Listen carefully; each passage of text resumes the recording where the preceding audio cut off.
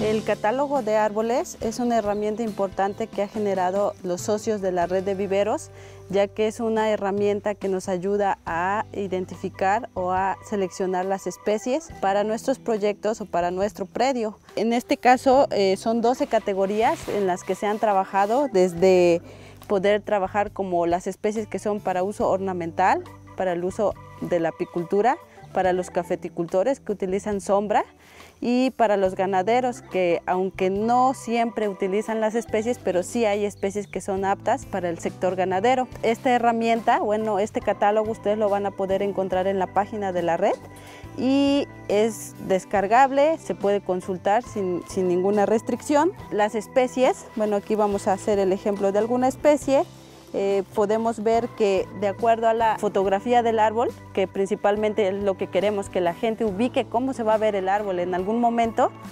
y eh, de este lado podemos ver el sector o la categoría en la que entra cada especie. ¿no?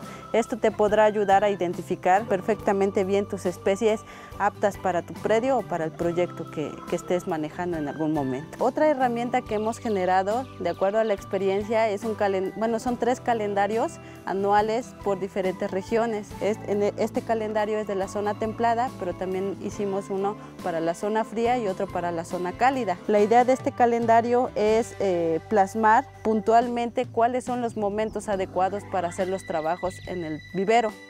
En este caso podemos observar que hay una, un, un, periodo bien marcado donde se pueden hacer las recolectas de semillas, que eso es lo más importante en el tema del viverismo, porque si no tenemos semillas no podemos propagar especies. Entonces después viene la parte de la época de lluvias, que es el momento después de que recolectamos las semillas, cuando podemos poner a, a germinar nuestras plantas y lo ideal es cuándo podemos sacar nuestras plantas para sembrarlas o llevarlas a los sitios de reforestación. Y también la idea de esto es tener puntualmente claro cuándo son las heladas, cuándo cae granizo, cuándo son la época de secas y principalmente cuando hay presencia de hongos. ¿no? Entonces con este calendario lo que queremos es prevenir todo esto en, en las diferentes regiones de los viveros que se puedan adaptar al clima. Para nosotros este calendario es importante porque si no lo usamos, como comúnmente pasa en los programas de reforestación, siempre ocurre que la, la, semilla la quieren sembrar cuando es la época de lluvias y obviamente cuando es la época de lluvias,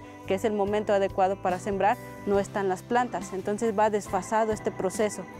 Entonces, si nosotros retomamos esto desde enero, que es un calendario anual, y lo podemos llevar conforme va el tiempo, obviamente vamos a poder tener nuestra planta en la época de lluvias, que es en julio, junio, y, sin ningún problema.